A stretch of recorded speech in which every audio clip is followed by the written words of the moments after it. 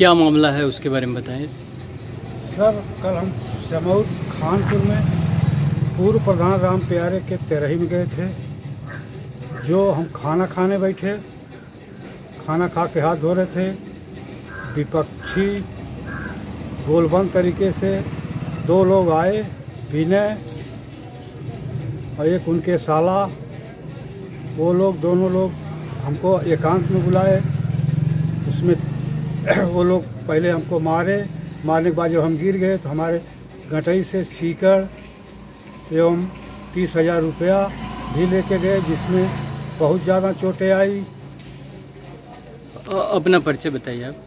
हमारा नाम है अच्छे लाल गौतम मंडल मंत्री भाजपा पूर्व जिला पंचायत भाजपा उप सभापति सहकारी समिति मकरही के उप सभापति भी हैं। थाने पे जाने पर पुलिस भी एफआईआर लिखने से कतराती है।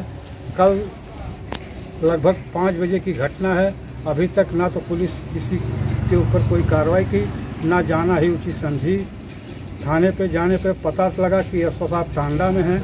टांडा से आएँगे, तब घटना का निराकरण किया जाएगा।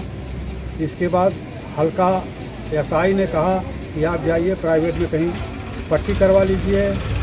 जो अप्लीकेशन लिखा है उसको बुला लाइए। तहरीर आपने दिया है ना? और हमने लिखित तहरीर दीवान को दिया।